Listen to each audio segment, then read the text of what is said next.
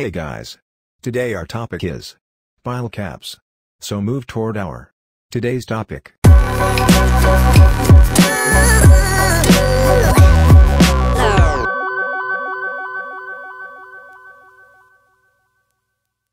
Pile caps.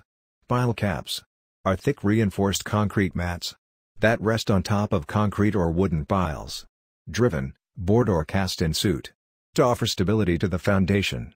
The main purpose of the construction of the pile cap is to distribute the load of the columns, which is usually too large for large construction.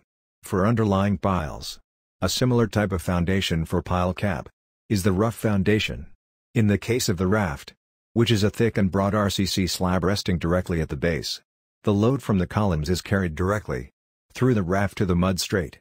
The raft can only be used for a stable hard soil layer, capable of carrying huge loads without failure. Otherwise, pile and pile cap are commonly used. Function of pile cap. To evenly distribute a single load, coming from the column to the piles, stabilizing the pile, thus increasing the overall efficiency of the pile group. To provide the necessary joint resistance stresses established by the superstructure and ground movement. Main features of pile caps.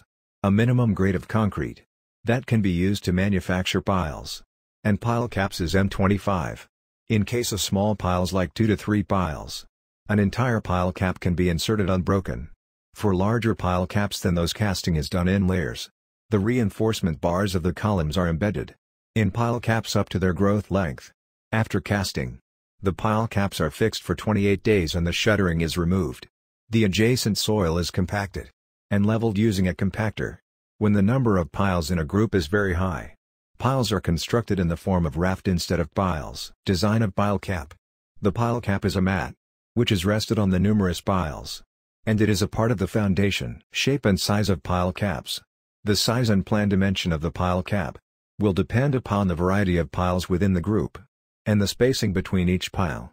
Pile caps are thick reinforced concrete mats that rest on concrete or wood piles, driven or bored and cast in situ, to offer stability to the foundation.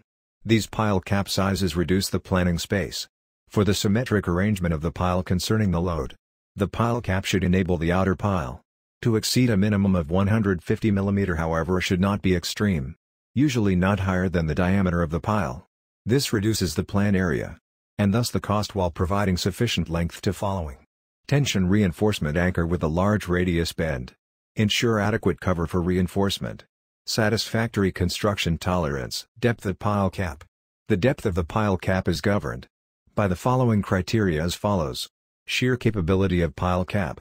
Soil shrinkage and swelling. Frost attacks. Pile anchorage. Water table and soluble sulfates. Holding bolt assemblies for steel columns. From the criterion given above, shear is the most important criteria for the selection of pile depth. Generally pile cap is deeper than the pad footing because it is subjected to concentrated loads, which results in much larger bending moments and shear forces.